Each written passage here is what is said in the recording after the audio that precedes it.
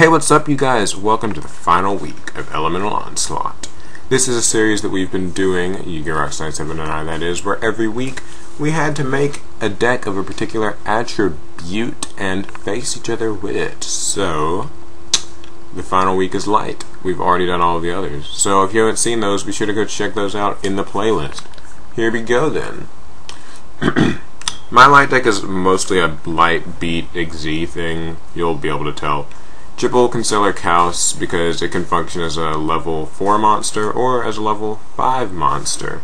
So it's really quite helpful. Um, it's just good. It can be level 5, which lets me go into my rank 5 Xyzs. Triple Cyber Dragon, rank 5 Xyzs. Double DD Warrior Lady, it's an out uh, to monsters, and it's level 4, so it's Warota. Double Effect Veiler, I don't actually run 3. Uh, I thought about running 3, but I wanted to fit other things. Triple Ghost Ship, when there's a light in the grave, I can banish it and summon this, and it's a level 5. Uh, honest, I run a bunch of lights, what'd you expect? Triple Photon Thrasher, it's a free special summon, so I get to the Xyz faster. Shining Angels, to get Shining Angels into your Warrior and things.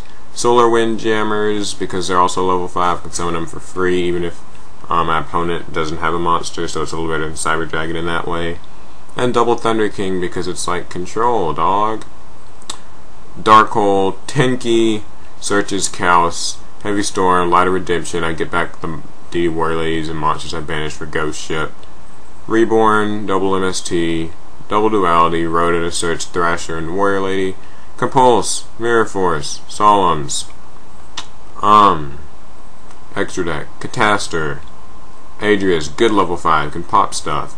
Omega, good level 4, can protect itself. Pleiades, good level 5, can get rid of stuff. Gaga Gaga Cowboy, Maestroke, Ninja Guy, Corn, Volcasaurus for game, Paladynamo, Paladynamo, Paladynamo, Tiras, Tiras, Zenmayo, that's the deck. Kind of simple, kind of standard light beat. Here we go, let's see how things turn out.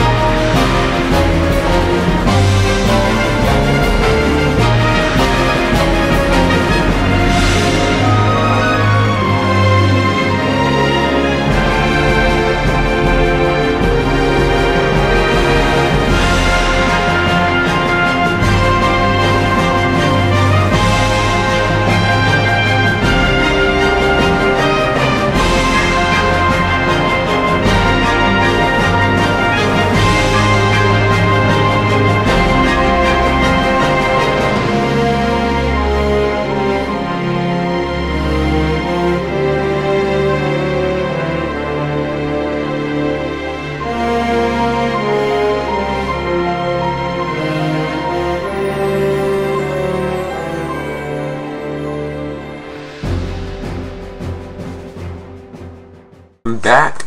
Um, lost, unfortunately. Uh, and to something that I really wish I'd have changed, something I considered, um, was putting Chimeratech for, for Fortress Dragon in my extra deck. Cyber Dragon would have helped me in that last game. I could have sucked up stuff and been 3k. It would have been great. Aside from that, the deck works functionally well. Uh, I can Xyz, so that's good. Honestly, Shining Angel was underwhelming, so it's actually something I probably wouldn't run in this. And I'd probably take them both out for maybe a third Veiler and like another trap like Compulse or something. Um, I guess that's it. I hope you guys enjoyed the Elemental Onslaught series. Um, if you liked it, thumbs up. Watch all the episodes in the playlist. Comment, uh, share with your friends, and subscribe for more great stuff like this. Also, leave us suggestions for other cool segments like this that we can do. We have a few others in mind, so um, if you like it, then you know, let us know. I was gonna say if you like it, then put a ring on it. All right, well, that's all. Hope you guys enjoyed. Talk to you later. Stick around for great content from both of our channels. Bye, guys.